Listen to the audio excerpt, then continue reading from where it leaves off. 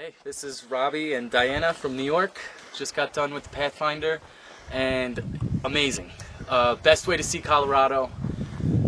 You're not seeing it through some BS. It's just great. I truthfully didn't know what, to expect, and now that I've done it, it's amazing. The history was great. Uh, Tour guide was great. To best tour guide ever. uh, just a great way to see the country. Awesome.